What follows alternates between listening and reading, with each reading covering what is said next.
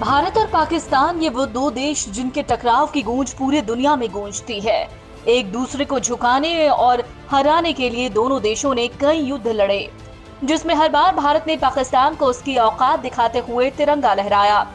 यूँ तो भारत ने पाकिस्तान को हर एक युद्ध में उसकी जगह दिखाई है, लेकिन आज हम एक ऐसे युद्ध की बात करेंगे, जिसमें पहली बार भारत और पाकिस्तान एक साथ मिलकर लड़े हैं और विरोधी पर विजय पाई है। जी हाँ ये बिल्कुल सही है। दरअसल टिड्डियों के प्रकोप से दोनों देश कई सालों से परेशान थे। हर साल दोनों देशों के किसानों की फ़सलें टिड्डियाँ बर्बाद कर देती थीं। लेकिन इस बार ऐसा कुछ नहीं होगा, क्योंकि इस बार भारत और पाकिस्तान ने एक साथ मिलकर टिड्डियों के खिलाफ संयुक्त सर्जिकल स्ट्राइक की है। टिड्डियों के हमले पर नज़र रखने वाली संयुक्त राष्ट्र की खाद्य एवं कृषि संस्था के वरिष्ठ locust forecasting officer Keith Cressman ने भारत पाकिस्तान के ज्वाइंट ऑपरेशन की तारीफ़ की। उन्होंने कहा कि पिछले साल भारत और पाकिस्तान ने 50 करोड़ से ज़्यादा टिड्डियों का आक्रमण झेला था, लेकिन इस बार दोनों देशों ने मिलकर टिड्डियों के आतंक को नाकाम कर दिया है। कीथ क्रिस्मान ने कहा, ये बात कम ही लोग जानते हैं कि भारत और पाकिस्तान के सरकारी लोकस्ट मॉनिटरिंग संस्थाओं ने मिलकर इतना बढ़िया काम किया है कि आज किसानों को चिंता करने की ज़रूरत नहीं है।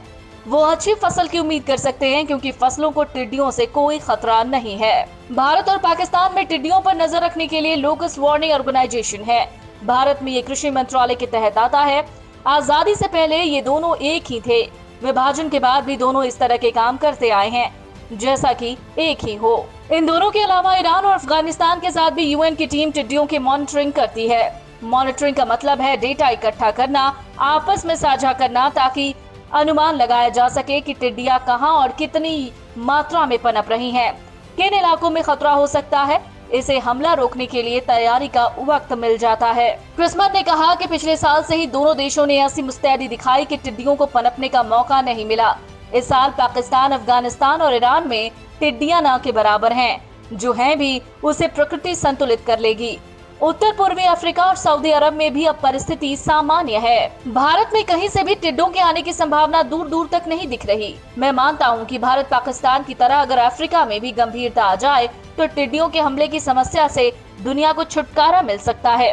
रेगिस्तानी टिड्डियों की मॉनिटरिंग फायर ब्रिगेड विभाग के जैसा मुश्किल टास्क है, क्योंकि टिड्डियाँ प्रोफेशनल सर्वाइवर हैं और ये मनुष्य की उत्पत्ति से पहले ही धरती पर हैं।